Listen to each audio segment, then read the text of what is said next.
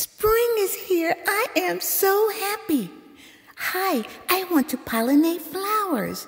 I want to solve an AB pattern. Me too. Well, let's go.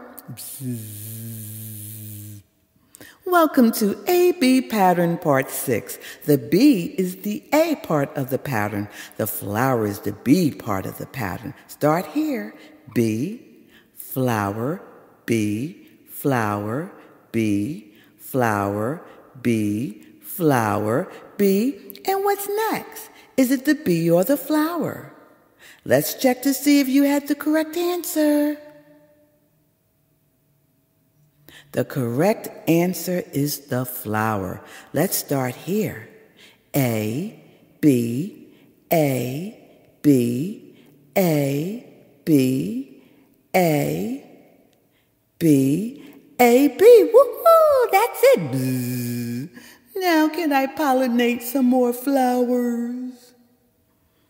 Boys and girls, what two pictures can you think of to make a spring pattern?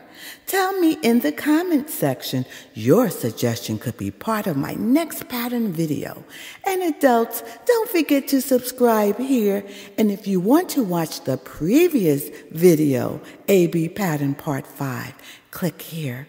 And until next time, boys and girls, bye.